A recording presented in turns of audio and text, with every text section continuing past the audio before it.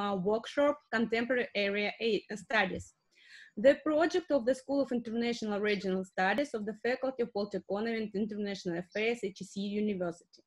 Our discussion will be devoted to the coronavirus and its uh, discontents, national and global ramifications, and the way forward. So we will talk about it with our key speaker, Dr. Raza Naeem, Pakistani social scientist, activist, book critic, and an award-winning translator and dramatic reader, uh, currently based in Lahore. He has been trained in political economy from the University of Leeds in UK and Middle Eastern history and anthropology from the University of Arkansas uh, at Fayetteville, USA. He has engaged with the Middle East uh, scene, uh, science the last 16 years and widely traveled in and reported from Egypt, Egypt, Yemen, and Turkey over the last decade.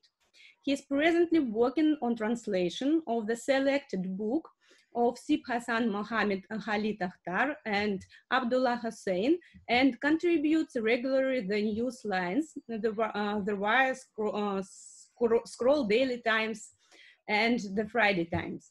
Dear Dr. Naeem, I'd like to express my sincere appreciation to you. The special guests and our colleagues has joined uh, with us today.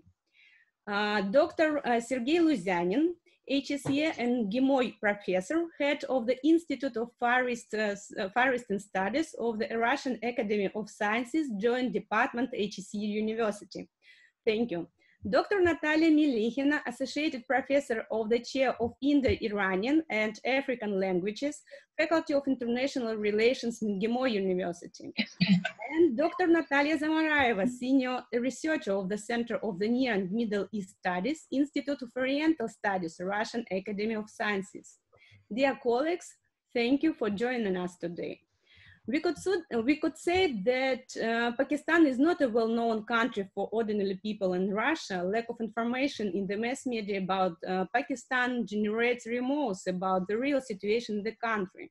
As experts, we would like to know the real facts, the opinions, estimations of the contemporary situation. Thanks to Dr. Naeem, we will get know the facts from primary resources.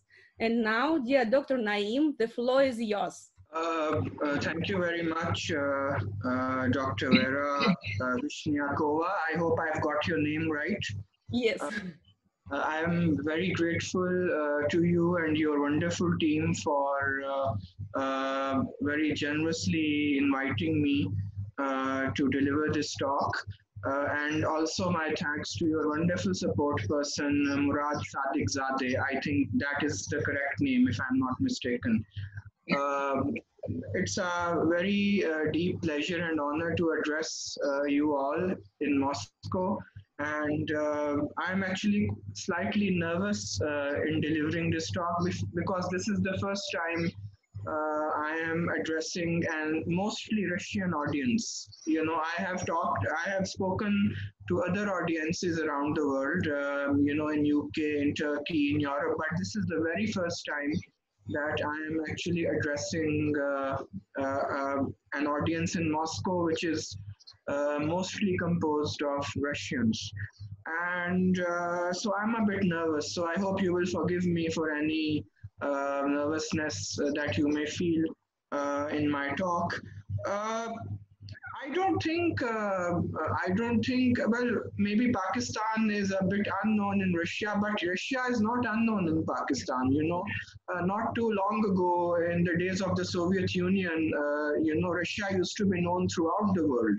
You know, and um, we actually had a small left in Pakistan we had a small communist party which had very good friends uh, in Moscow, you know, and so uh, it's it's a it's a great pleasure to address uh, you know uh, uh, uh, your audience on this very very topical issue. so my talk is basically going to be about it's divided into three parts.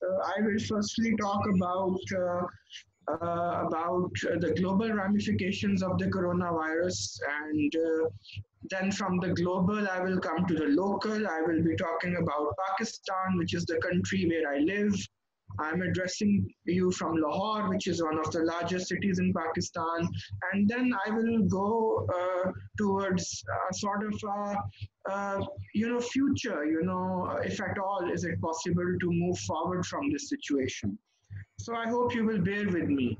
Uh, how much time have I got, if I may ask you, please? Uh, about uh, 30, 40 minutes, as you like, as you wish.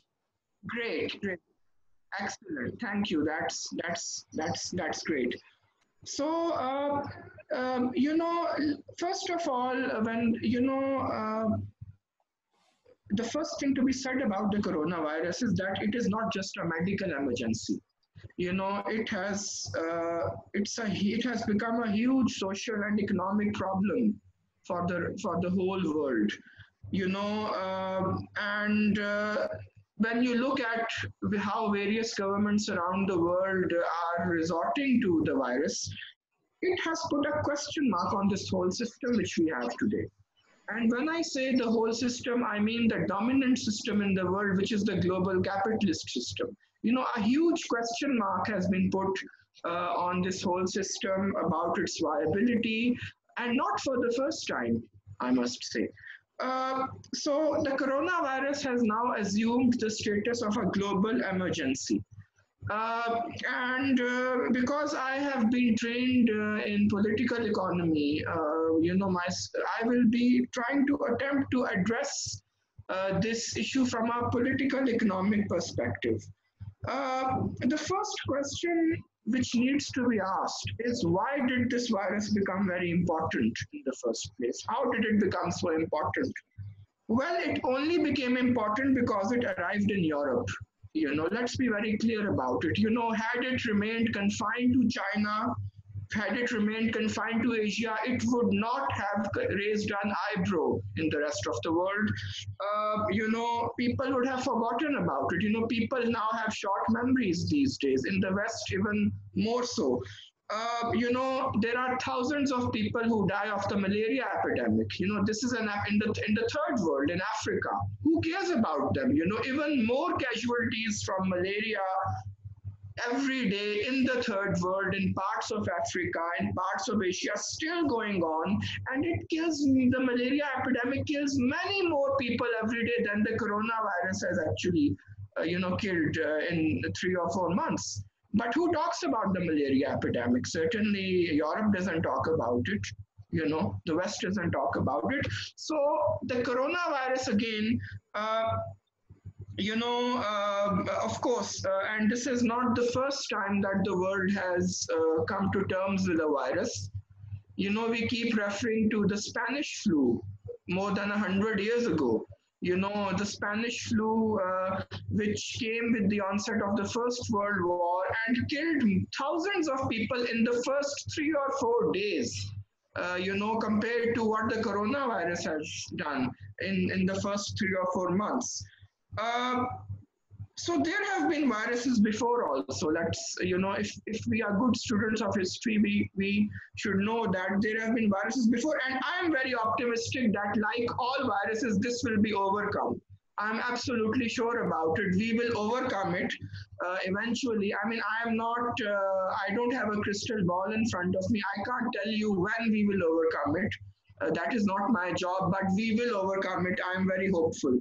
So, where did the virus originate? I think uh, Wuhan is the arc of the future. You know, this is the place where the virus started from, and this is the place where the virus is going to end. And in a way, they have actually ended it. You know, if you look at what the Chinese government has done in Wuhan, I mean, it has shocked the whole world. So, this Wuhan is the ark of the future, in my opinion. Uh, and uh, they have started recovering uh, from the virus, uh, you know, in a much better way than has been done anywhere else in the world.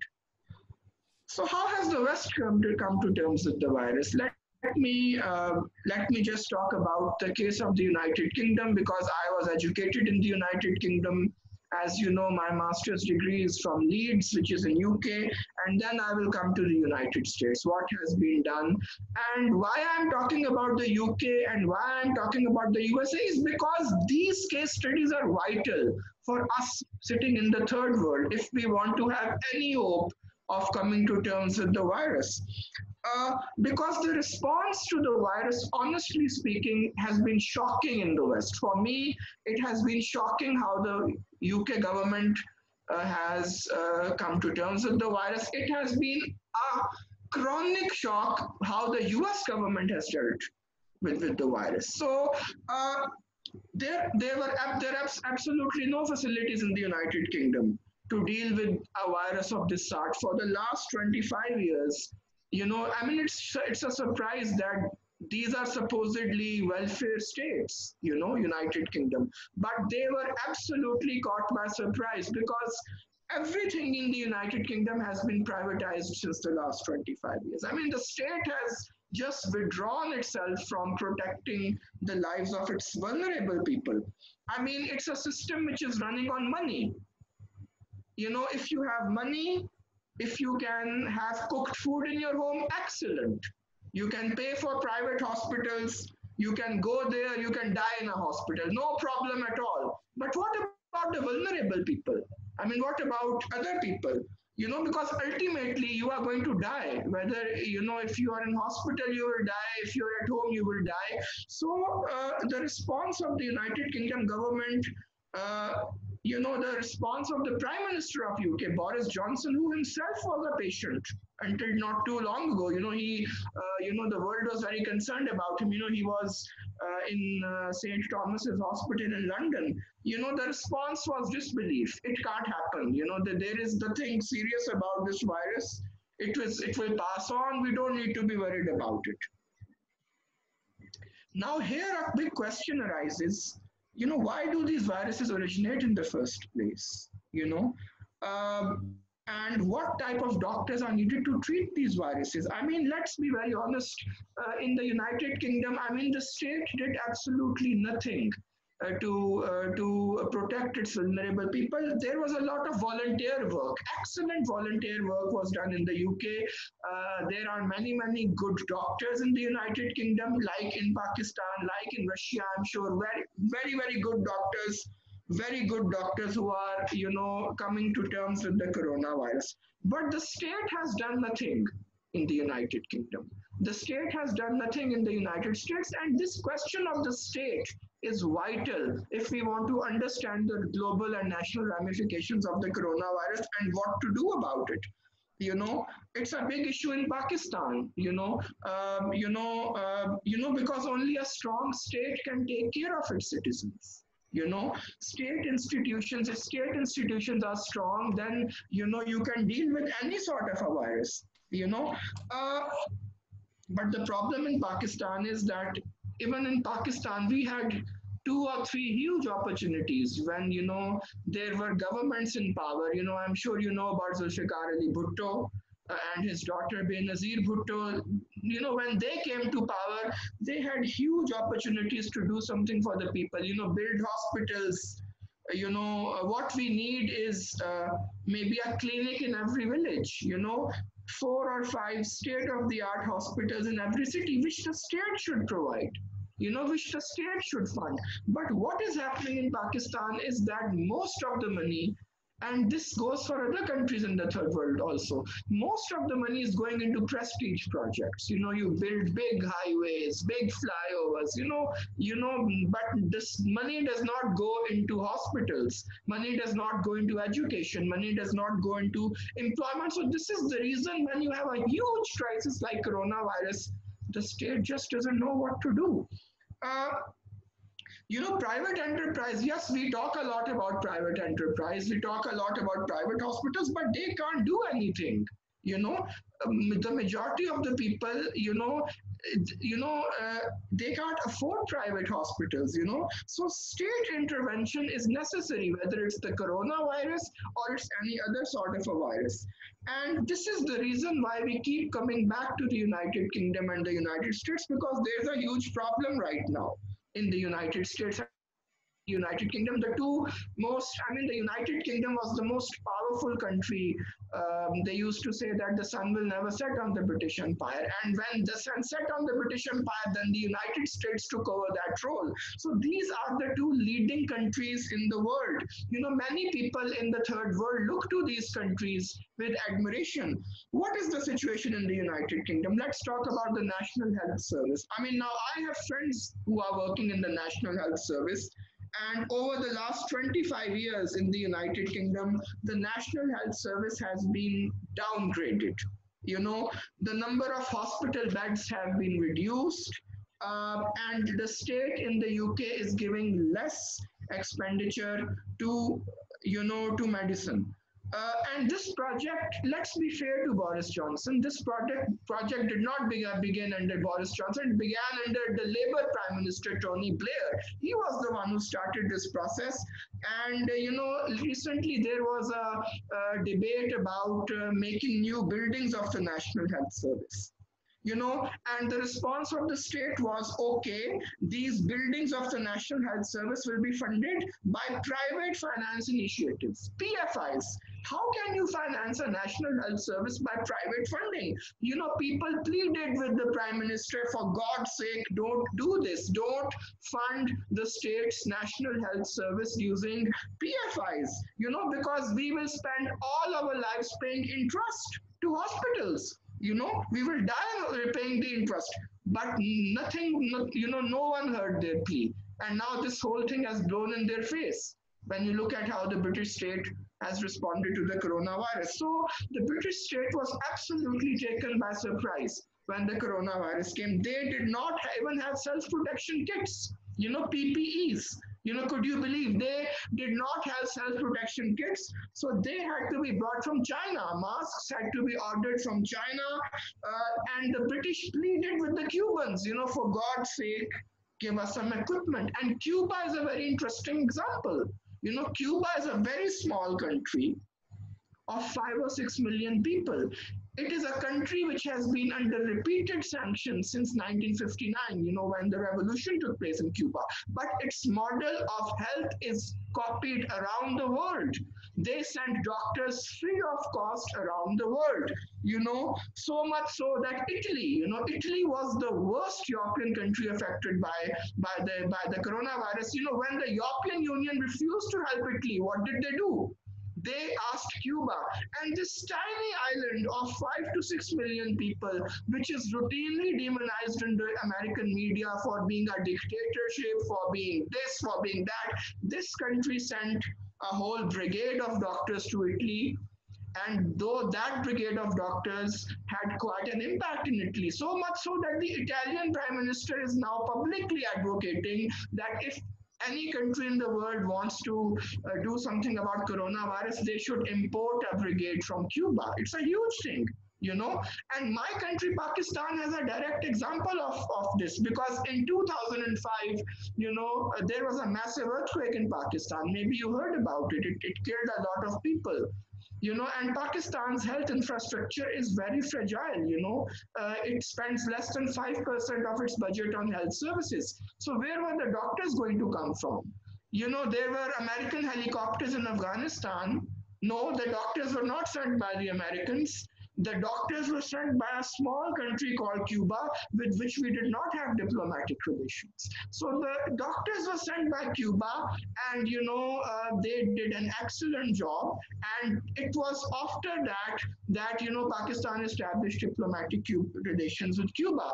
And by the way, this international diplomacy is not a recent example. Cuba has been sending doctors as part of its international diplomacy since 1959. You know, it's not a recent development. So what the United Kingdom should have done was to have nationalized the private hospitals. They should have nationalized the private hospitals. Lot of sensible people, lot of sensitive intellectuals pleaded with the UK government to nationalize the private hospitals. Okay, fine, you want to compensate them, give them a bit of compensation, but for God's sake, privatize the hospitals but this, the hospitals were not privatized. In fact, the British state is paying thousands of pounds every day to private hospitals. For what? You know, it's just like you're paying thousands of pounds to a five star hotel. You know, it's like paying to a private hospital, you know. So, uh, and the response in UK was total denial. You know, there's no need to test the patients. The virus is going to go away. We don't need equipment. We don't need tests. And what country were they comparing them with? They were comparing themselves with Germany. I mean, uh, Germany has just successfully lifted the lockdown. Why was Germany so successful? Not because the Germans are very healthy people, you know, because the, the casualties in Germany have been less because the number of nurses in Germany is very, very high. The number of trained nurses, you know, the German government sent the nurses to each and every home in Germany. Like it or not, they said we have to test you know, and so that we know if the patient has a strong virus or it has a mild virus. If the German patient had a strong virus, he was immediately sent to the hospital. If he had a mild virus, you know, uh, he was asked to stay at home. So this is how the Germans, you know, reacted to the coronavirus, and this is the reason why they have been able to lift it. I think they have become the first country in Europe to totally lift the lockdown. And this is not what was done done in Italy. You know, France is doing it now. You know, they didn't listen to the Germans before, they're doing it now. And in the United Kingdom, it's a total disaster. Still, they are not listening uh, to, uh, to their neighbors, the Germans. What about the United States? You know, many people in the third world, many rulers of countries look to the United States with a lot of admiration. It is hell right now.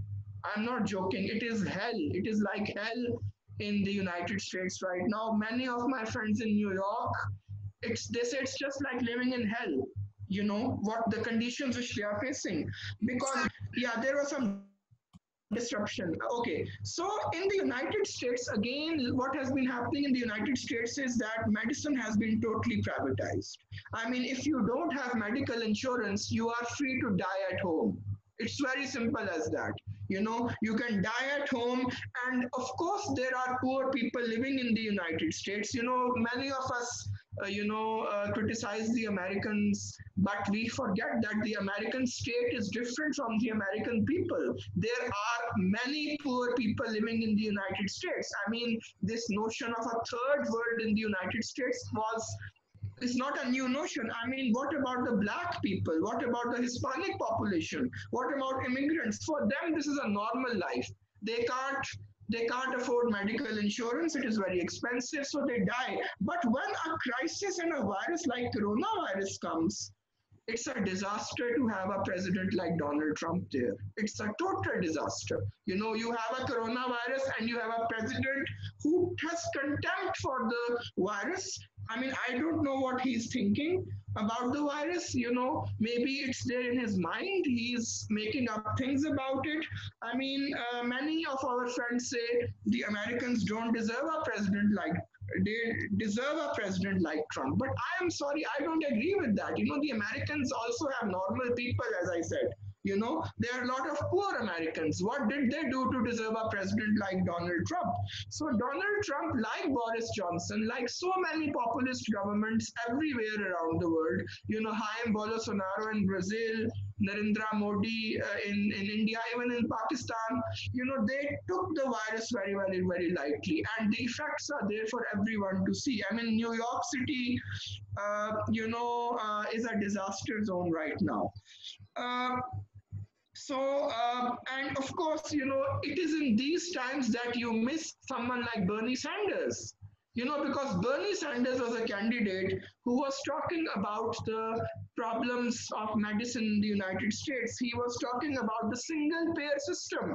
What is the single payer system? You know, the single payer system uh, has the power. If the single payer system is introduced in the United States, it can destroy the power of the insurance companies. You know, the American health bill was written by insurance companies. It was not written by uh, professional doctors.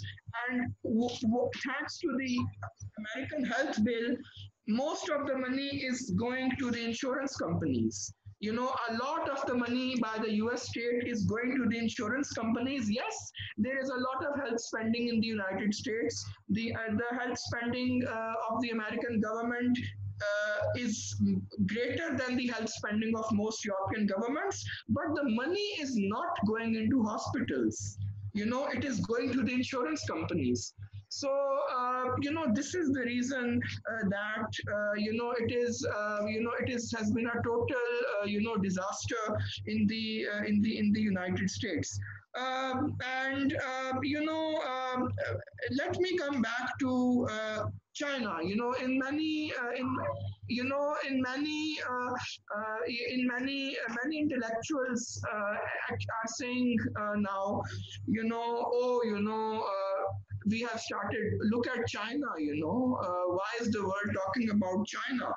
You know you know okay fine. Uh, they uh, the arc of the future is in china you know. Fine uh, you know uh, uh, you know what happened in wuhan but you know they are basically an authoritarian country.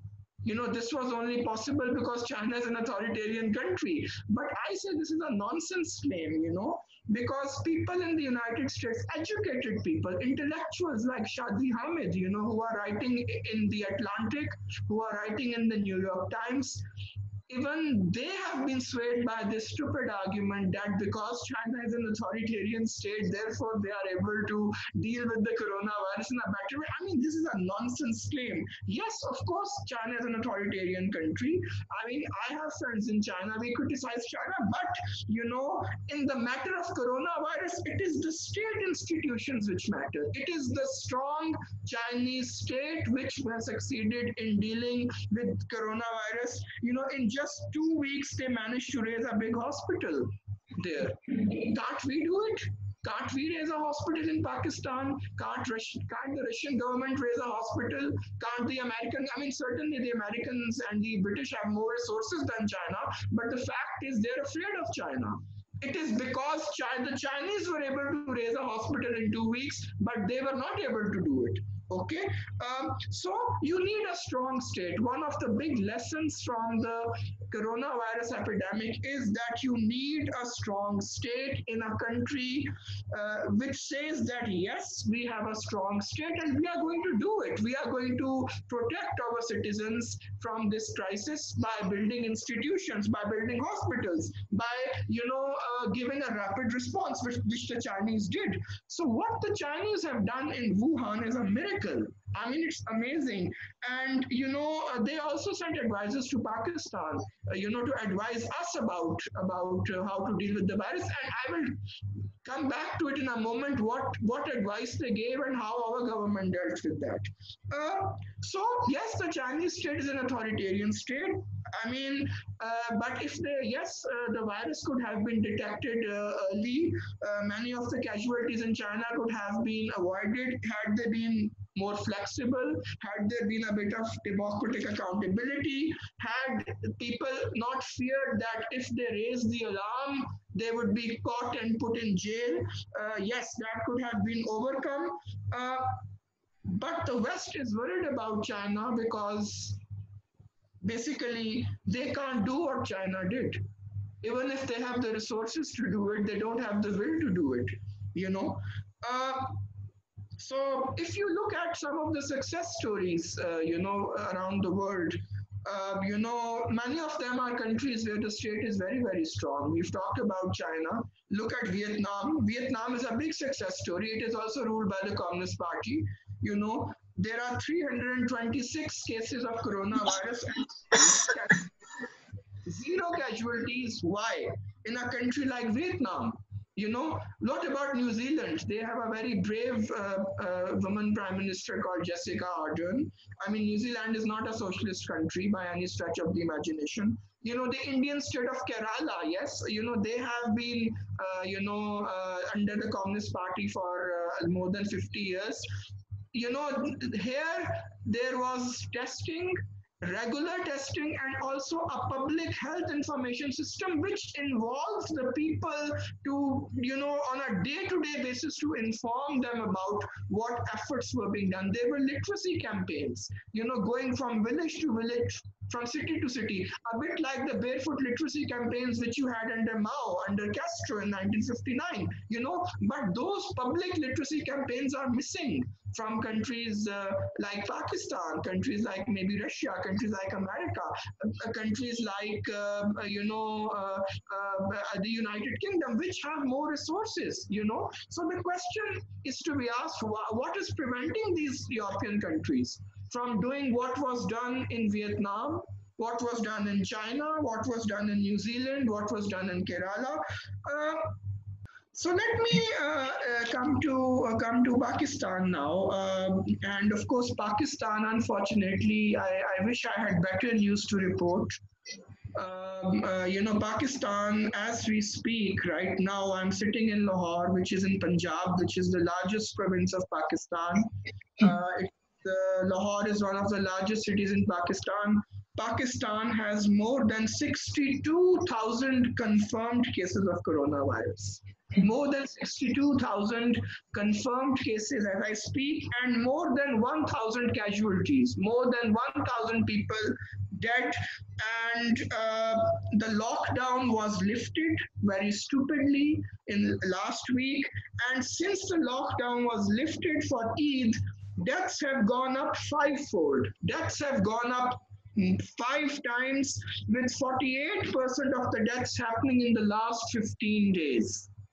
So Pakistan is a country, if you want to ask how not to respond to the coronavirus, Pakistan is a wonderful case study for that. How not to respond to the coronavirus. It has been an absolute disaster because the Supreme Court in this country just ruled that the COVID-19 is not a pandemic and because Eid is approaching, you know, Eid is the festival of the Muslims, the Supreme Court, this is the largest court, highest court of the land, ordering the reopening of shopping malls ordering congregational prayer, prayer, the Juma prayer, you know, where you have thousands of people who are praying in mosques without any masks, without any protection.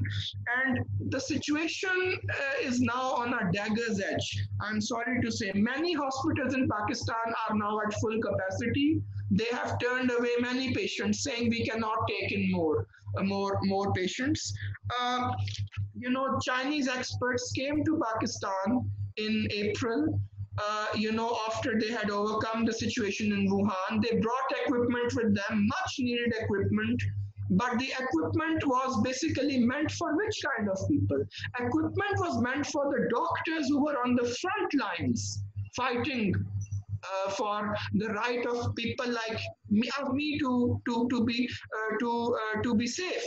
The, and the equipment was meant for the daily waging people who go out there every day to earn their daily bread. But was the equipment given to those people? No. The equipment was given to the elite, you know, the sons and daughters of the elite who rule Pakistan people who don't need it, you know, because they can just sit in their homes and they can sit in their quarantine. Their wages are being paid to them. They are working on their laptops. So this was not done. You know, the Chinese ordered a strict lockdown to the Pakistan. They advised a strict lockdown to the Pakistani government and the Pakistani government, uh, you know, they went from one position to another. First, they said we are going to have a smart lockdown. Then, from a smart lockdown, they went to herd immunity. I mean, these are all buzzwords imported from the West. I mean, they have little currency in third world countries. And from herd immunity, now they are going uh, towards, uh, you know, uh, total end of lockdown.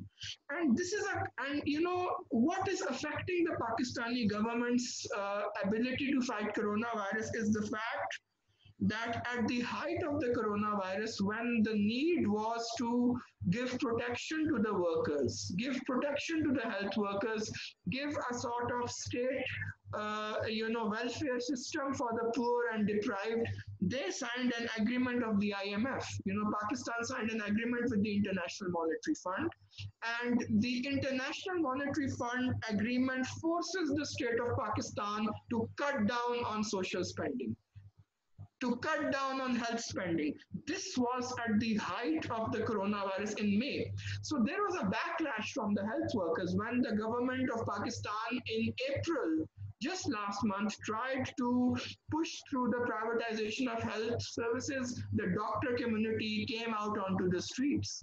They said, you know, what kind of a state are you? You know, we need to be protected at a time when we need to have a unified strategy to fight the coronavirus. How dare you push through an IMF agreement, which is basically cutting down, uh, you know, cutting down uh, the health services and making us more vulnerable.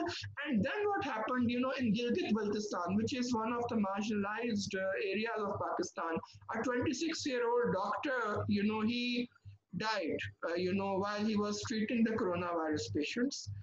And, uh, you know, he died, he had contracted coronavirus because of lack of equipment, lack of PPE, personal protective equipment. And one month later, a nurse in Kasur, which is in Punjab, which is, you know, Lahore, where I live is in, in Punjab, a nurse died and it was demanded from the government to test that nurse whether she had coronavirus or not and the government refused to test her could you believe it? And there was a backlash. You know, there is this huge uh, group of doctors uh, which is called the Grand Health Alliance. You know, they came out and they made they carried a strike of 10 days. So finally, the government backed down. They said, okay, we are going to do the testing to the nurse.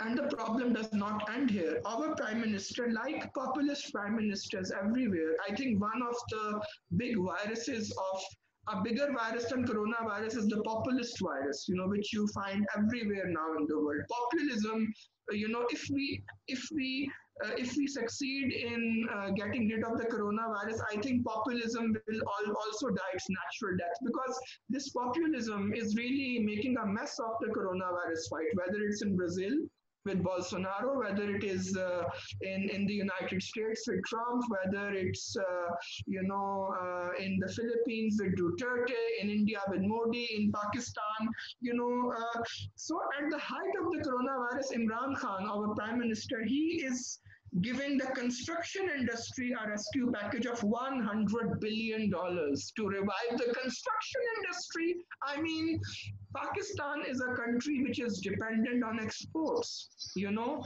What kind of construction are you going to have when there are going to be no people to build the houses you know because people are vulnerable you know what is needed is for uh, them to be you know to restructure this restructure the shape of the economy to make it responsive to the needs of the people to stop these prestige projects to devote uh, the but you know more you know let me tell you uh, 50% of the national i mean budget is going to be presented in june uh, it is obviously going to be an emergency budget. You know, more than 50% of the GDP is going to pay, to pay the debts and the other 50% is going for military spending.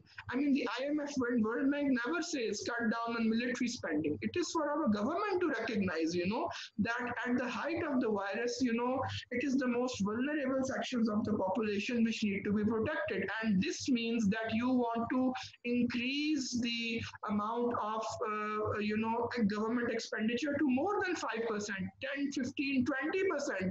You know, if you want to, A, protect the vulnerable sections of the population uh, who are the workers, who are the daily wagers, who cannot, like the elite, sit at home, work on their laptops, and pretend that everything is okay. And B, you need uh, a common minimum income, you know, a guaranteed minimum income for people who are the most vulnerable.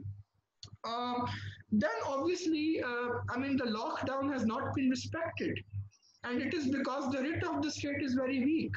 I mean, uh, you know, uh, in a country like Turkey, let me tell you, you know, we follow Turkey a lot in Pakistan. You know, in a country like Turkey, which is also a developing country, you know, Turkey, uh, you know, ordered a four-day curfew before Eid, which started on the weekend. So Monday to Friday, every week, they have a total curfew. No one below 20 years of age and no one above 65 years of age is allowed to go out into the city. If they are allowed, you will have a big fine imposed on you. You know, even if children are playing in the courtyard outside the home and the police come, they will ask you to go inside. Even children cannot play outside the courtyard of their home. Even that is the seriousness of how the lockdown is affected. You know, the Turkish government, I mean, I'm not a big fan of the Turkish government. It is a populist government. But what I'm telling you is for countries like Pakistan, which want to learn from the example, I mean, and Turkey has imposed a total curfew, 80% curfew in most of their big cities you know and uh, you know let me tell you there is a sense of accountability why because before Eid, the interior minister of Turkey said we are going to impose uh, a four-day curfew. So many people became panicked. You know, they went out, they said, oh my God, there's going to be a curfew. We need to stock up on the things we need to buy. And for three or four hours, there was complete panic. No one died, but the next day, the interior minister of Turkey resigned because he said he had a sense of responsibility. He said that no one is respecting the writ of the state. I have ordered a four day curfew. People are on the streets, they are buying. I am sorry, I, I failed, I resign. So this is basically the sense of accountability of public servants at the height of coronavirus in country like Turkey, which is a middle income country, by the way. You know, I think it's one of the neighbors of Russia also. Uh, so, I mean, so lastly, I'm going to say what is basically needed. What is basically needed right now in countries like Pakistan? Number one, you need to have a you need to have consistency. You know, if you need to have a lockdown, then you have to have a lockdown. You cannot have a smart lockdown and then you go for herd immunity, and then two weeks later, your Supreme Court orders the shopping malls to open because people have to go out shopping. I mean, this is a lack of inconsistency. This is a criminal lack of negligence. So, what is going to be done? The writ of the state, you need again and again the question of the state is very important. The state needs to be strong. You know the state needs to enforce its writ. And we have seen many examples of states in my talk. I gave the example of china. Okay if china is too communist for you if it's too authoritarian for you look at turkey you know. They are a member of nato are they acceptable to you? Look at look at the how the state has enforced the writ during coronavirus okay? So the state needs to be strong. Uh, secondly uh, you need to have a welfare program for you the most vulnerable people in the population you know uh, you know and other countries have done it. Other countries which are authoritarian states which are not democratic states have done it. Why can't pakistan do it you know you need to have a minimum basic income uh, which so the the so the and you know just today the spanish government the spain you know one was one of the worst affected countries you know. Their government has announced a tax on the elite they said we will we will come out of the coronavirus by taxing our elite because it is the elite who have been subsidized for too long. I mean the elite can sit in their homes and work on their laptops but it is the poor people who are paying the price of the lockdown. Uh, and lastly and thirdly public literacy campaign is very very important. I mean this is very very important. It i mean yes the state needs to take measures but you need to have public literacy campaign. Why should a lockdown be imposed? What is the impact of the uh, you know what is the impact of how long are we in it for you know? I mean vietnam i talked about vietnam. Why is vietnam a success story not because they're ruled by the Communist Party of Vietnam, but because, uh, yes, they are ruled by the Communist Party, but also because, you know, there is zero casualty there because they went out, they, they have a very strong public uh, literacy campaign, you know, so you need the art of communication also. Your ruling elite need the art of communication with the masses most of the time the governments are just talking to one another to the elite the elite are talking to the elite. If you want the people to respect the lockdown to respect the coronavirus you need to have a public literacy campaign mass public literacy about you know why the coronavirus uh, needs to be opposed what can be done about it how will people be affected what are the short term uh, solutions what are the long term solutions and lastly you need to test test, test, test. In Pakistan, testing is a big issue. You know, the big questions in Pakistan are A, uh, who can ask for a coronavirus test? And B, if if the people ask for coronavirus test, are they also qualified to go through a coronavirus test? You know, these are two different questions. You know, so most of the countries where you have seen success with coronavirus and minimization of casualties are the countries I talked about Germany. You know, are the countries where the testing regime has been enhanced. You know, drastically you know uh, so this is basically uh, the need of the hour uh, you know i'm uh, you, uh, you, uh, you know you know i'm a translator and i work on um, i work on literature also. So i don't want to end on a very pessimistic note.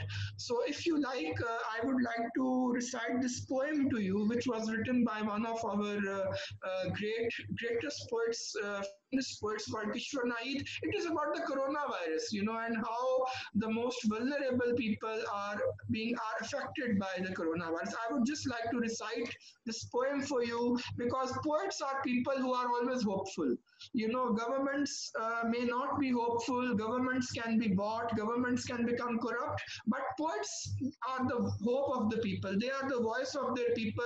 Even when they go into exile, you know, good poetry offers hopes to people in the darkest of times. And we are living in a dark time. So this is the poet, this is a poet uh, called Kishwar Naheed. She is going to be 80 in June and she has just written a wonderful poem called Who Will Be Our Savior? And this poem I have translated in uh, English and I will just recite it for you to give you some hope. Uh, okay. Thank you. Thank you. I will just recite this poem for you. Yes. Thank you very much, Dr. Naeem. It was very fresh, informative, yes, uh, informative point of view from Pakistan about not not only about the Pakistan, uh, uh not only about the Pakistan, but uh, the situation or, all over the world. Uh, it was really interesting. And we start our second part of our seminar, the discussion. Uh, I give the floor our experts. If uh, they have uh, some comments, uh, you are welcome. Natalia Alexeyevna, Natalia Valerievna. Uh, can I recite the poem before you can begin the second session? If I am not. Maybe. Yes, please. Oh, okay, yes, please. Sorry, because I want to end on an optimistic note. Uh, called uh, Who Will Be Their Savior? Uh, I was not born in paradise. That I am the progeny of the earth is surely no surprise. Children like me of all the villages and countrywise shuffle and thrive in the earth barefoot. It is true to surmise. When the sixth or seventh child is born, our mothers pass on. A new mother comes on. Neither my father sitting in the village congregation, nor my mother, her elbows on the wall, with the neighbor engaged in conversation, bother to remember the advertisements about Corona running on the television. We are indeed waiting that when the seller of sweet and sour candies will be arriving. And we savor now gram, then tamarind, and sometimes candy, each costing a ten penny. And playing just like that, we grow old.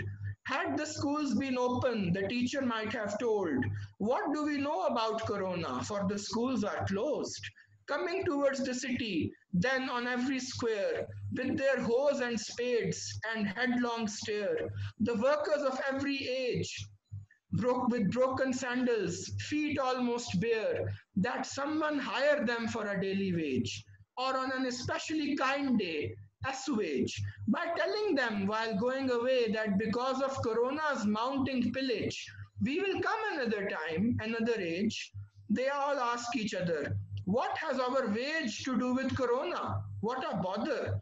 Upon reaching home, the mother presents him with the stale bread, together with pickle to complete the daily spread. She asks, What of the daily wage?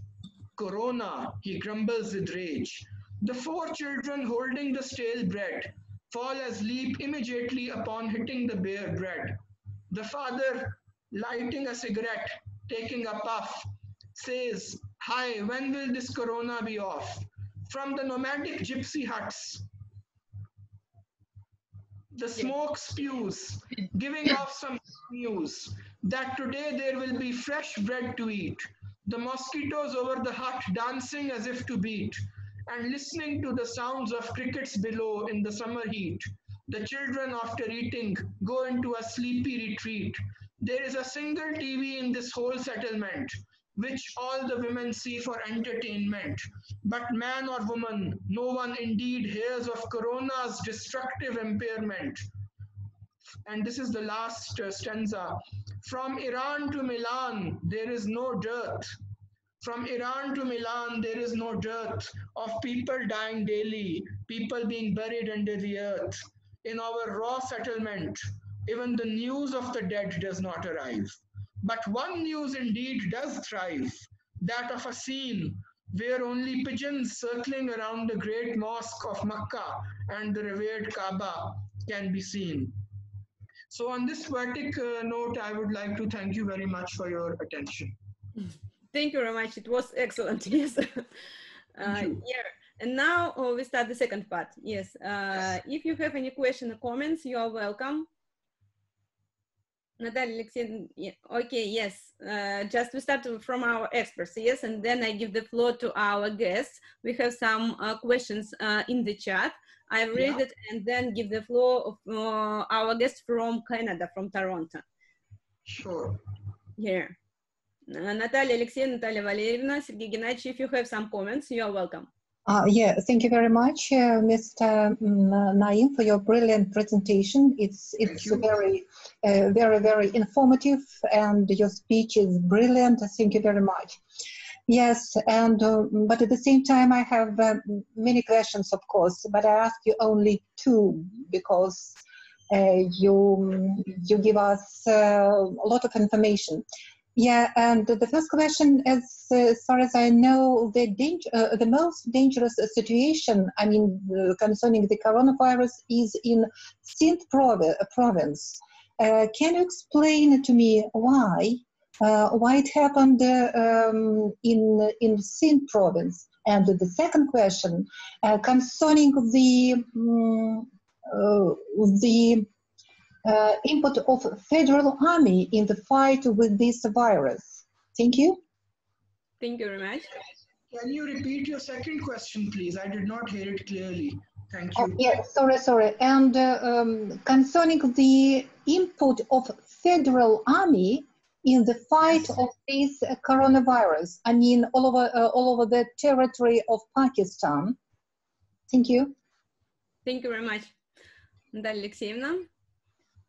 Uh, yes, thank you very much. Um, uh, coming to your first question, I am afraid I don't agree with uh, your uh, assessment of the coronavirus situation in Sindh. I think uh, uh, coronavirus in Sindh has been basically the exception to the rule. I mean, while uh, you know, um, you know, um, casualties have been going on in the rest of the of Pakistan, the Sindh government was actually the first one which disregarded the federal government's totally stupid stance about not having a lockdown. They said we will have a lockdown, and they had a very successful lockdown. And uh, you know, there the actually it has been one of the few success stories uh, of battling coronavirus in Pakistan. You know, because uh, they online seminar. so okay. Mm-hmm. I, I, think there is some disruption. Mm-hmm. Okay, so the Sindh government passed uh, uh, immediately a corona emergency relief ordinance, you know, uh, and this meant basically, uh, I mean, uh, that uh, it, it, took the lead actually in, in, in the fight against coronavirus because unlike the response of the federal government, you know, the chief minister of Sindh, the highest office in Sindh, they had a very clear situation about what to do. So in, I think the casualties in Sindh have been on the lower side in the rest of than compared to the rest of Pakistan. And uh, in fact, none of the chief ministers of the province regarded what the prime minister was saying. Our prime minister, like other populist leaders, totally disregarded uh, you know, what the Chinese told him. They said, we are not going to have a lockdown. First, the minister said, no, we are going to have a lockdown. Then the Punjab uh, chief minister, who belongs to Imran Khan's party, he even said that we are going to have a lockdown. Even in Balochistan, which is the poorest province, so everywhere in most of the provinces in Pakistan, they disagreed with what our respected prime minister was saying about having no lockdown. So Sindh actually is the leader in Pakistan in terms of less number of casualties, you know, and still they are being criticized. And unfortunately, it has become a political battle. It has become a politicized battle. Obviously, uh, it's such a devastating uh, virus. It should not be politicized. But of course, Pakistan is not an exception to this. There are other parts of the world where the virus has been politicized also. Uh, coming back to your second uh, question, you were asking me about the response of the federal army. Yeah, yeah. Yes. To what? Sorry, response to what? Response for what? For, for what? Uh, the input of uh, federal army in the fight or with this uh, against this virus. What did federal army do in the fight against this virus? Well, uh, you know, um, Pakistani army right now, of course, uh, is more uh, engaged on the border. You know, just today they, uh, you know, they destroyed an Indian spy helicopter in the state of Azad, Jammu and Kashmir. So I don't think, uh, I mean, uh, uh, you know, um, you know, the only, you know, the only thing which I can report um, is that uh, you know the only notable thing which the Pakistani army has done in terms of coronavirus is that they are using terrorist tracking technology to hunt the coronavirus. You know, uh, you know, their in Pakistan's intelligence services are developing. Uh, they have deployed secretive surveillance technology, which normally is used to locate militants. You know, the terrorists. In, instead, now the army is using this surveillance equipment to track coronavirus patients and the people who are coming in touch with these coronavirus patients. And this technology uh, has been cited publicly uh, by the Prime Minister. You know, we unfortunately uh, don't know a lot about uh, this technology because of course it's a secretive technology like everything secretive about the army. But what i can tell you is that the intelligence services of pakistan are using geofencing and phone monitoring systems uh, which are basically employed to hunt high value targets like foreign terrorists homegrown terrorists. So this is the sort of technology uh, which is uh, basically, it's a very discrete tracking system which alerts the authorities when someone is leaving a specific geographical area, you know, and basically because of this geofencing, it has helped officials monitor neighborhoods, you know.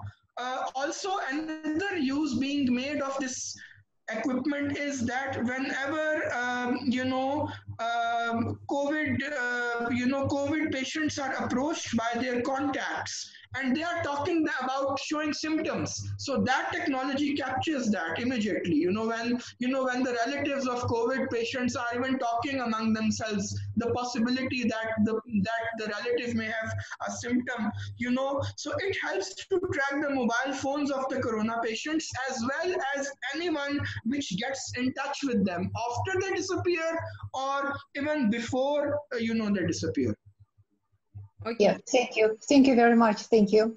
Thank you very much for your question. And now we have um, uh, we have one question from Canada, from yes. uh, Sitara Shaikh. Could you uh, could you say uh, your occupation and uh, okay, intro in yes. introduce yourself please for us because okay. Sure. My name is Sitara, and I'm um, I'm in Toronto, Canada, and I have been working in the field of child protection for the past 20 years, and I'm working as a consultant now. And I did some work, consultancy work in Pakistan as well, because I'm originally from Pakistan. So I want to thank Mr. Uh, Raza Naeem for this informative presentation. It has been very helpful, especially because you looked at it from a very global perspective. So I have a couple of questions. My first question mm -hmm. is, uh, in the beginning, you said you're very optimistic. You said you're optimistic. uh, moving forward that we are going to get rid of this pandemic, which is great. It's good to be positive. My question to you is Do you think that the developing and the emerging countries will be able to access, buy, and administer the uh, vaccine, and especially with reference to Pakistan? Because it's going to be a huge thing for the developing countries how we are going to do it going past COVID 19.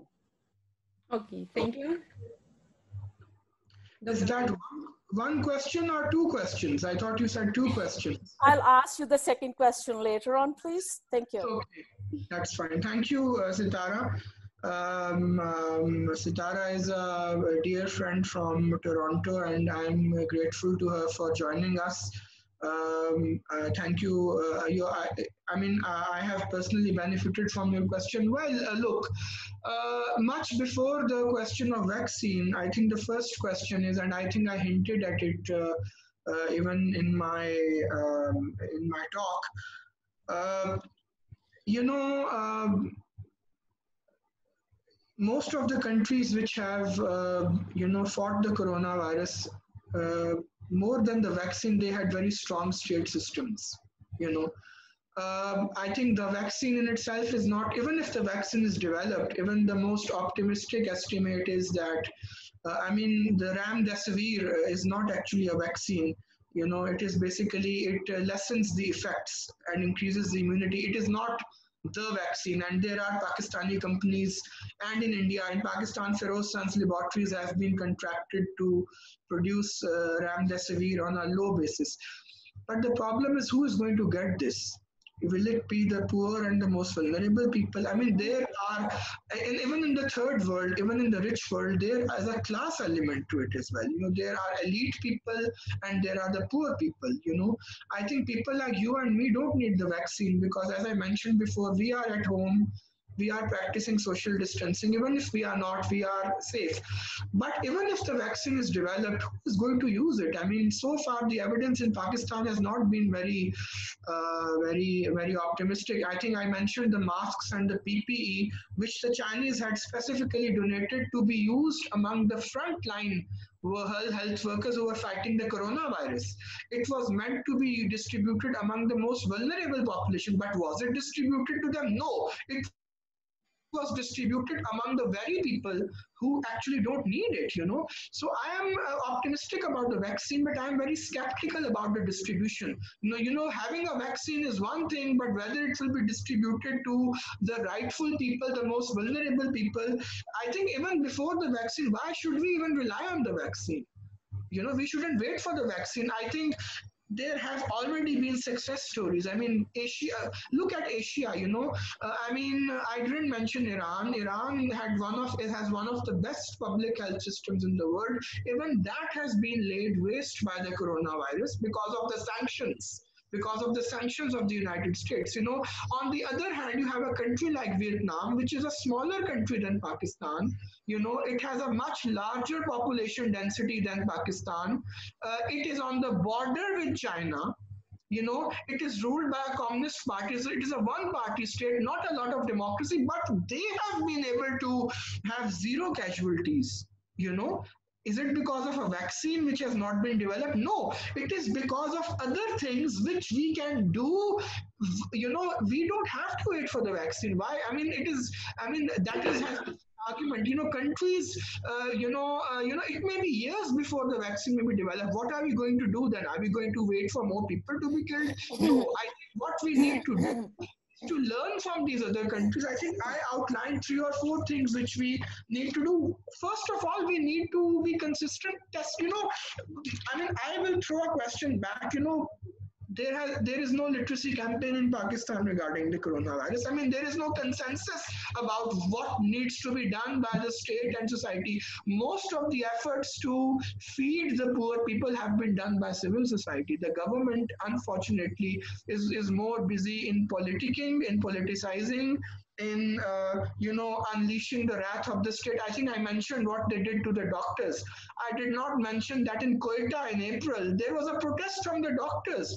They said we don't have equipment. For God's sake, give us equipment so that we can treat. And what was the response of the state? They brought the army they you know they brought the army they hit them put the doctors in jail I mean, this response has been totally unprecedented in any other country. You know, so I mean, there are other problems in countries like Pakistan. I mean, so I'm sorry you know, I am optimistic that a vaccine will be developed, but in countries like Pakistan, I don't think the problem is lack of a vaccine. The problem is something more different. The problem is that this, the state needs to be strong. It needs to be have a consistent narrative on um, on coronavirus. It needs to have a public literacy campaign. There needs to be a basic minimum income, and there you need to have a strong testing regime. I think you know, again to reiterate, I'm sorry to disappoint you there. I mean, I don't think vaccine is the vaccination is the is the most important problem here in Pakistan as far as the coronavirus is concerned.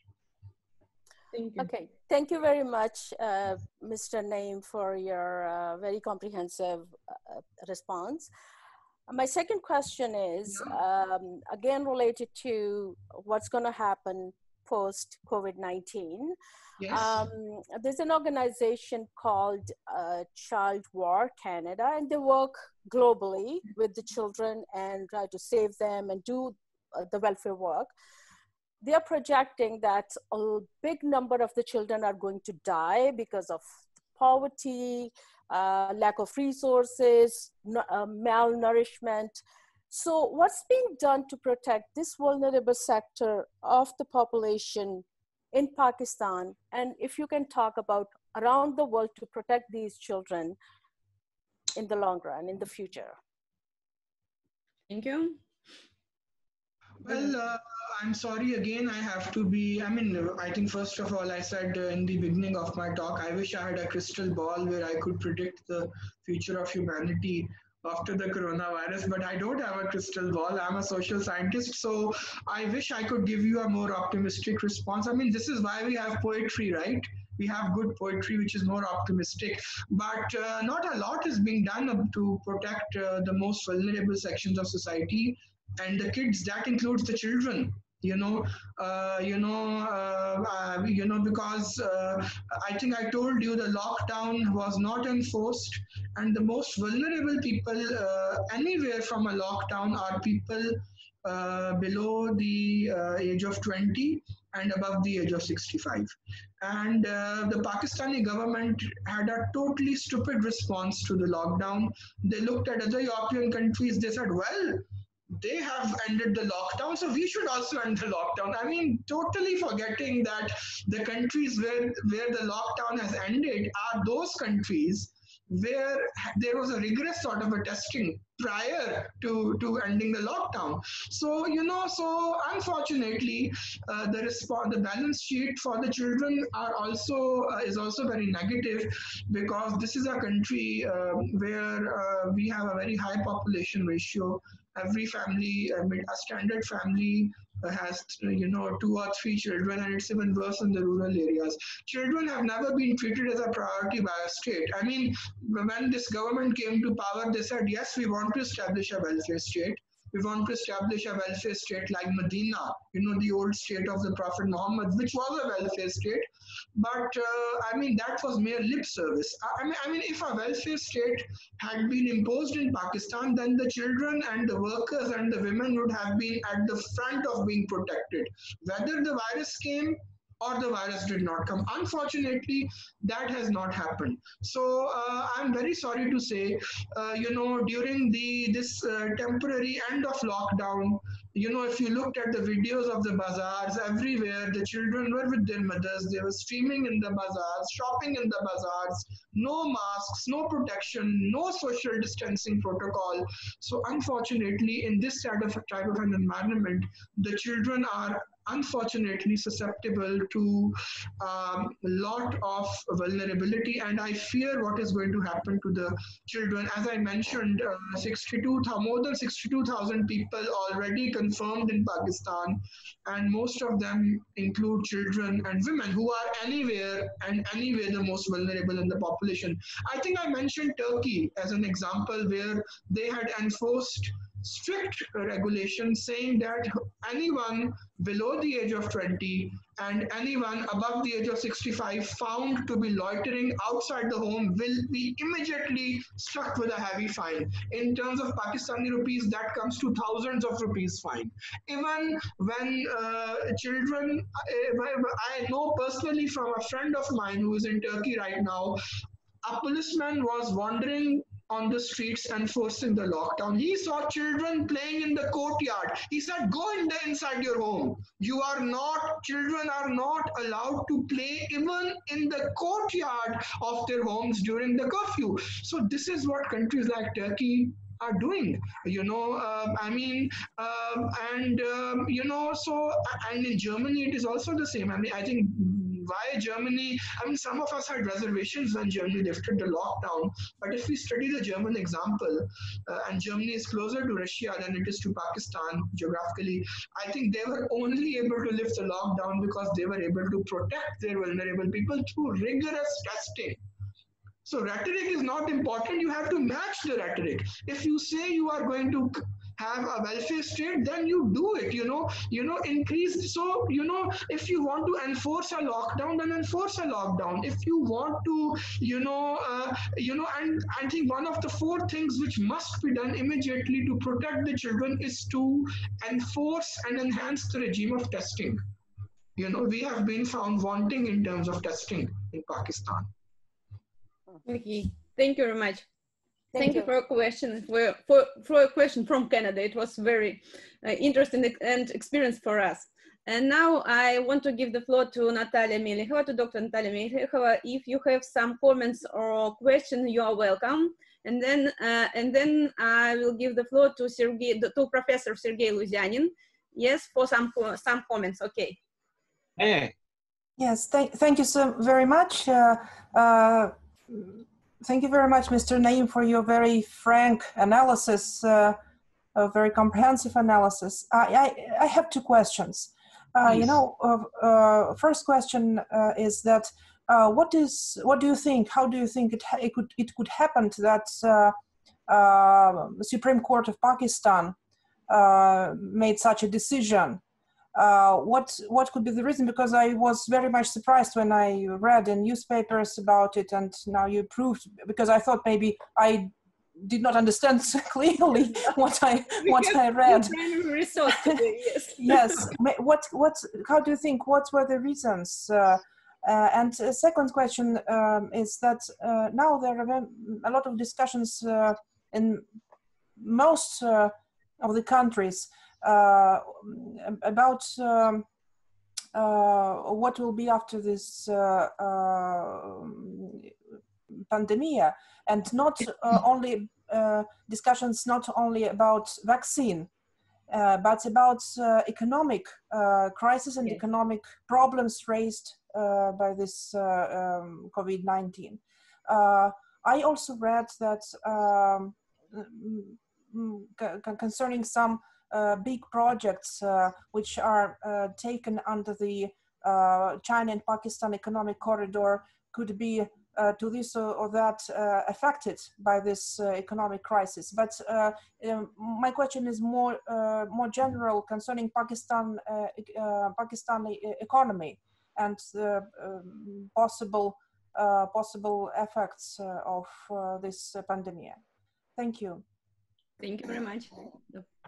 Thank you very much. Uh, they are uh, very important and relevant questions. Uh, the first question is relatively easier to answer uh, about uh, why the Chief Justice would uh, order something like that. I think Pakistan, if you understand anything about Pakistan, it should be that here the judiciary has recently been politicized. You know, you know. I think you know that Pakistan not too long ago was ruled by a military dictator called General Musharraf and uh, when he tried to sack the Chief Justice, uh, because he did not uh, accept uh, the dictatorship, there was a huge movement to restore the judiciary. And the lawyers and the judges played a huge part uh, in that movement. And that, after many, many years, it was the first time in Pakistan when the lawyers became a force. Now, that can have good things, that can have bad things also. I mean, the bad things are the good thing was that, yes, the dictator was overthrown finally, the judiciary was restored.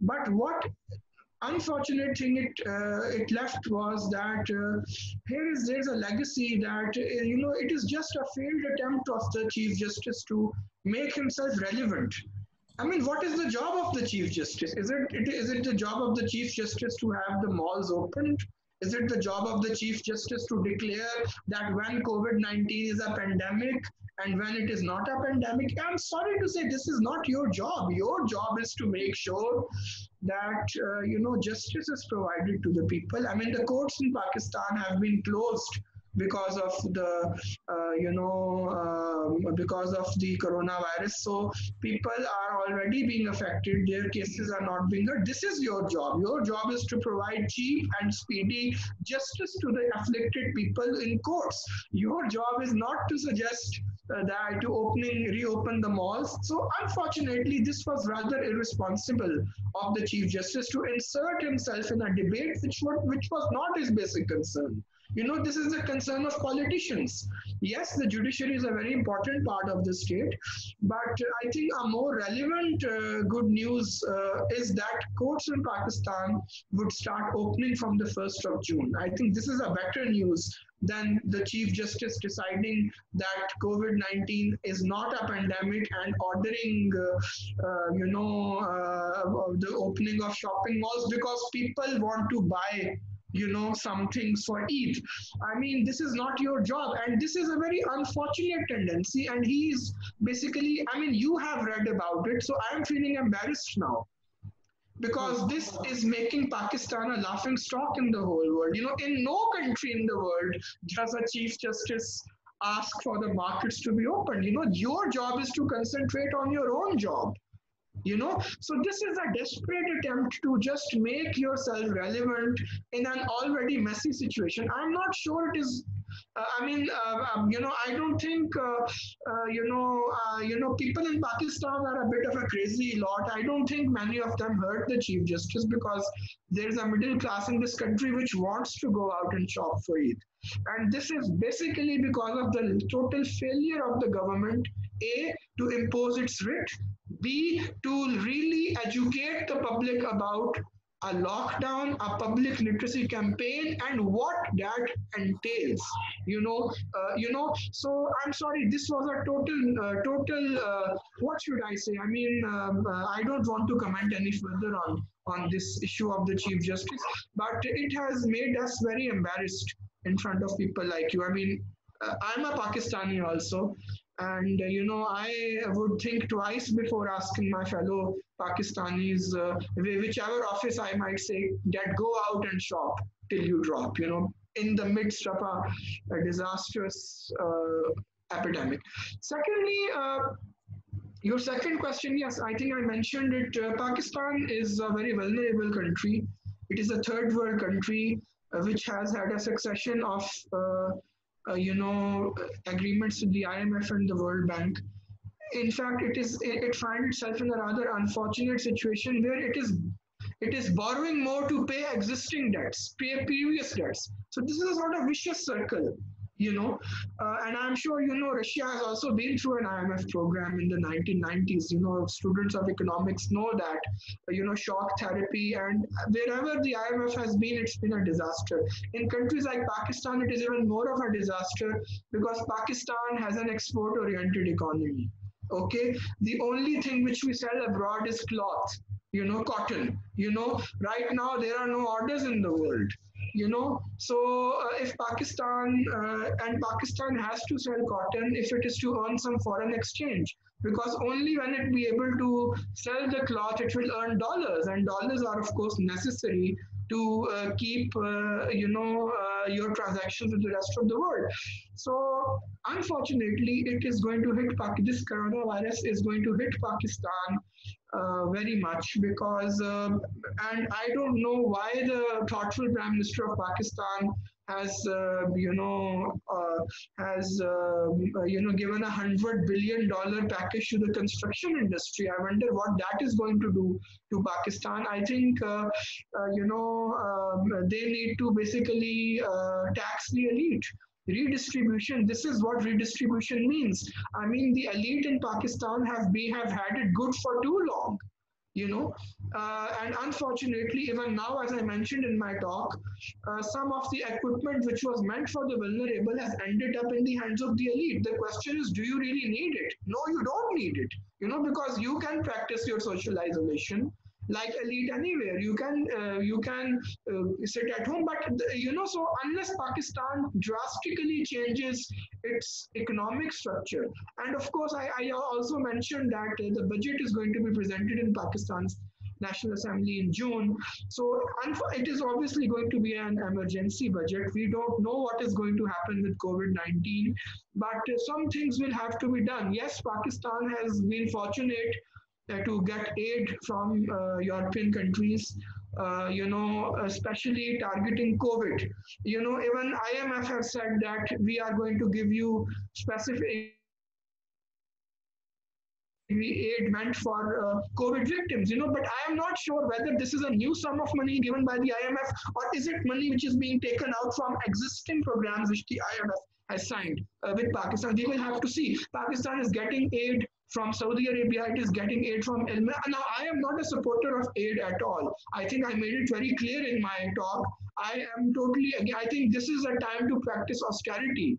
I think Pakistan, this is a time to practice self-sufficiency. You know, this is a time for Pakistan to reorder its priorities. And you know, you mentioned China. I don't know, uh, you know, we haven't learned anything from China. You know, we pay lip service to friendship with China. I mean, um, I think uh, uh, right now, uh, you know, the least we can do is actually defend China, you know, because America, the American, the Americans, okay, fine, the American president is hell bent on uh, on uh, presenting China in a bad light. You know, you know he. Uh, I'm glad that he didn't agree to cut the WHO funding because of his animosity for China. I think the least Pakistan can do is to defend China. You know, if you're paying lip service to your friendship with China, I think. I mean, but but you know, uh, there is a lot with uh, there's a lot uh, of secrecy with these CPEC agreements. You know, you know, we don't know a lot about. I mean, I'm not sure if uh, in, in the CPEC agreement there is a specific clause which says that China is going to, uh, you know, help Pakistan with any payments. They're already providing us with a lot of money. But I think the main issue, the main thing is that we need to learn from China uh, as to how they overcame the coronavirus. This is basically, I mean, we haven't learned to their experts. You know, we, we did not even listen to what the Chinese expert, the free advice which they gave us uh, you know, how to deal with. We haven't bothered listening to them. So uh, it throws everything else uh, out, you know, unfortunately.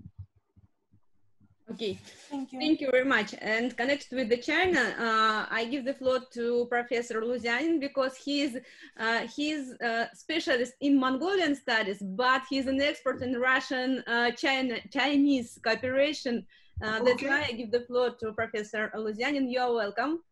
Uh, thank you, thank you very much, uh, Mr. Naeem.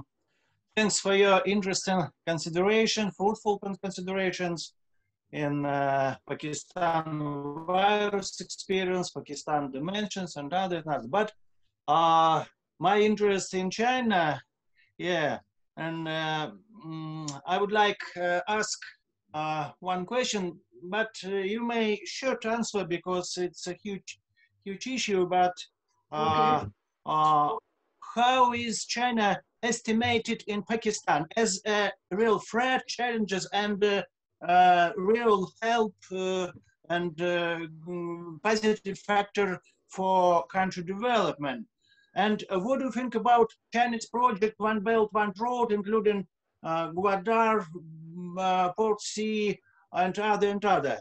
it's not virus history, but it's very interesting. Please, thank you. It's really, it, it's compare, yeah, it's, it's a history. It's Yes. You may Uh, share, you may share to answer. Yes, I've prepared the same question about Gwadar Port. That's why it's really interesting. Can you repeat? I'm sorry, I could not hear you properly. I'm really sorry. Uh, please Well, forgive me. Could you repeat, uh, Professor Luzyanin, uh, the question, only the question? I'm very sorry for, for, for the inconvenience. Sergey Gennadievich, could you repeat the question? Ah, uh, please, I repeat. Uh, uh, what do you think about Chinese policy in uh, Pakistan? Is a real uh, threat as a, a real health factor? And uh, what do you think about One Belt, One Road? What is uh, what is estimated in Pakistan? Uh, please, thank you. Okay, thank you very much. Well, uh, the second question is easier to answer. Uh, I think uh, much of that uh, is still up in the air. We don't know. It's like a dice, uh, which is in the air. We don't know what side the dice is going to land on, you know, about when One Belt, One Road initiative. Uh, most of what was promised, we have yet to see, you know. So we are also waiting, like you are, about the benefits of uh, OBOR uh, in, in, Pakistan. Uh, the second, uh, the first question is a bit more complex because uh, obviously, uh, I mean, Pakistan is part of a very interesting neighborhood. You know, it is bordered on Iran by one side, it is bordered on India by the other side, one side bordered by Afghanistan, and th- then there is China. Uh, out of all these countries, uh, China is the only country with which Pakistan has had a consistent uh, relationship. You know, even when Pakistan had military dictatorship, China supported uh, even Mao. Even Mao, when China was ruled, was uh, even Mao, when Mao Zedong, the great revolutionary leader of China. Uh, who has got a great prestige in Asia? You know, even when uh, when he was the president of China, even he supported the Ayub Khan military regime you know, although he was a communist and Ayub was a dictator, you know. So this should tell you that uh, China-Pakistan relationships are not ideological relationships. I mean, they are more nationalist interest, you know. And I think every country, I think you can say that about every country in the world. You know, every, I mean, uh, von Clausewitz, the famous uh, uh, war uh, theoretician said that there are no friends or enemies. There are only interests, you know. So, uh, uh, so Pakistan's relationship with China has been very interesting, and uh, you know, uh, it has stood the test of time. But unfortunately, we haven't learned anything from China. We have we pay lip service to China. That we do. You know that China is our friend. We use a lot of hyperbole. We use a lot of metaphors. You know that uh, till the end of eternity, Pakistan and China will be in friendship. Yes, we do a lot of that, you know, but uh, unfortunately, uh, you know, China got independent after Pakistan. You know, Pakistan uh, got a, uh, Pakistan became independent in 1947, and China became a People's Republic in 1949. But they are they still call themselves a developing country. But look where they are, and look where we are. You know, you know. So um, you know, uh, we have unfortunately not drawn the right lessons. Therefore, I'm also very skeptical whether we will even draw anything from CPEC or one belt, one road. Because in 60, 60 plus years, I mean, no one is asking Pakistan to turn into a socialist country. Of course, it's a ridiculous notion right now. Even even China is not a communist country anymore. I mean, it's ruled by a communist party. Uh, but uh, but at least the least we could have done is to learn from this state system. Okay, if we have forgotten, learn how they are dealing with the coronavirus. But we are not even prepared to do that. So you know, the friendship between India, uh, Pakistan, and China is a very interesting notion, but there is more to it than meets the eye. It's an interesting idea. Yes. Yes, it's very interesting question, and uh, but we we don't have enough time to discuss. Yes, uh, and I want to ask the last question from from uh, organizer as an organizer. I, I have, uh, we have a traditional question. Uh, which uh, we ask uh, our experts about the globalization.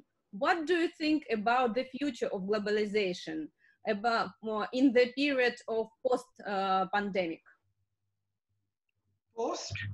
post-pandemic, after pandemic, after pandemic? Well, I think uh, globalization is basically a different name for the processes which started, uh, which have been going on for more than 500 years. I mean, uh, you call it colonialism, colonialism has ended, you have imperialism now.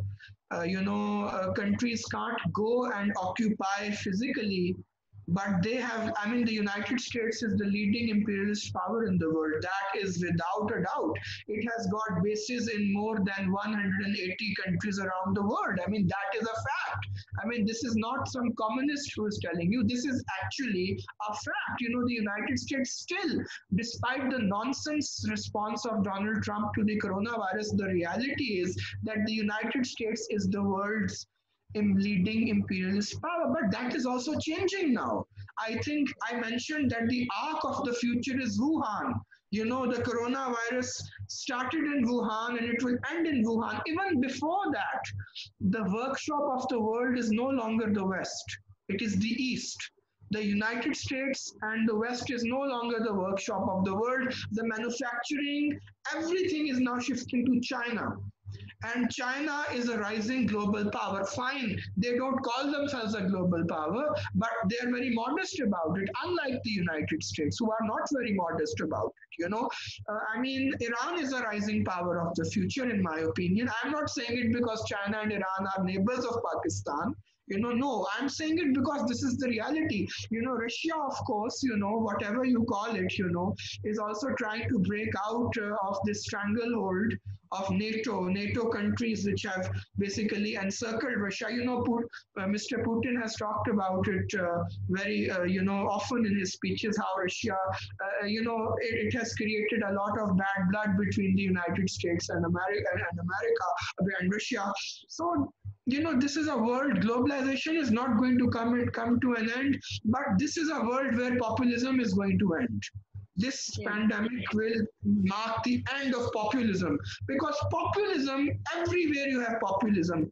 Jair Bolsonaro in Brazil, look at what his response is to the pandemic. Look at what the uh, president of the world's largest country, democracy, Donald Trump, is saying about the pandemic. Look at what Modi is saying about it. I mean, India is also called the world's largest democracy. Look at what the Modi regime's response to the pandemic.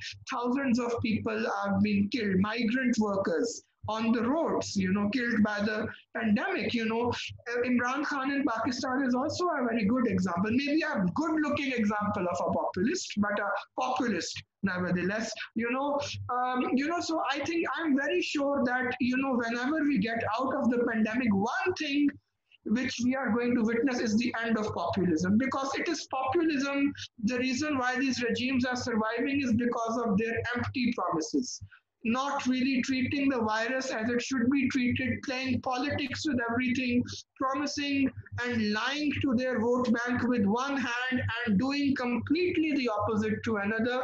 So if if this virus is going to mark an end, it's going to mark the end of populism. It's a very dangerous sort of politics. But I hope that uh, you know uh, one thing which the which this uh, uh, pandemic is going to prove is the bankruptcy, the emptiness of populism, and there will be mobilization from young people. There will be mobilization and there will be mobilizations for more popular participation in politics. When people will begin, young people, you know, especially when young people see through uh, this uh, disaster, which is populism. I know we, we had Bernie Sanders who made, had a very brave campaign in the United States, but he was ejected from the Democratic race. You know, he was ejected. I, I don't think Biden can defeat uh, uh, defeat uh, Trump because the conventional wisdom in the United States is Biden is better than Sanders. You know, Biden, Trump is better than Sanders. You know, this is what the Democratic Party say, you know, yes. unfortunately. You know, it's very unfortunate that he has been defeated. Similarly, Jeremy Corbyn in the United Kingdom. And now we know that there was a campaign in the Labour Party against Corbyn. In his own party, there was a campaign, and what a difference it would have made if Corbyn was the prime minister and not this joker who's called the Boris Johnson in, the United Kingdom, you know. So globalization is going to carry on as usual, but I think the processes of exploitation will be challenged, you know. There is a challenge where, you know, already there is a challenge, uh, you know, the whole system, the whole, I mean, capitalism has been you know, I mean, this is not the first time capitalism has faced a crisis. Karl Marx predicted it 200 years ago. You know, he said there's going to be a periodic crisis, you know. So I think, you know, uh, I think question marks have already started uh, over this system, over its viability, you know, and already people are asking questions. People are actually reading uh, Karl Marx once again. People are reading Karl Polanyi once again. You know, all these economists who had alternatives to the dominant neoliberal model. You know, so people are taking an interest in these things. Young people will, I hope, see through these things, and they will ultimately build a movement. They will elect politicians who will be not who will not be populist, but who will be more responsive to the needs of their populations. You know, and that is the hope. And of course, we are seeing that in every country, you know, and of course, on an international level, there is a lot of resistance from countries like Iran, countries like China, countries like Venezuela. How long can you put them under sanctions? You know, just today, there is an oil, a, a boat carrying Venezuelan oil from Venezuela to Iran. It reached Iran and, the, and they are angry about it. How dare uh, an oil tanker uh, come from Venezuela and provide oil to a country which we have put under sanctions, but they do it. You know, this is the kind of system we live in. So I don't want to be a pessimist, but I am hopeful that uh, A, we are going to come out of this pandemic, and B, this uh, globalization will lead to new forms of the state, will lead to a challenge to the hegemony of the United States. There are new centers of power which are emerging in Africa, in Latin America, um, in, in Asia.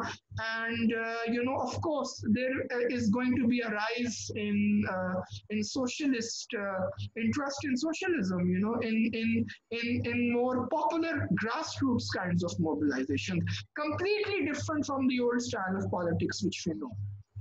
Thank you very much. It's very expressive and interesting point of view. And I think that all of us uh, are optimistic.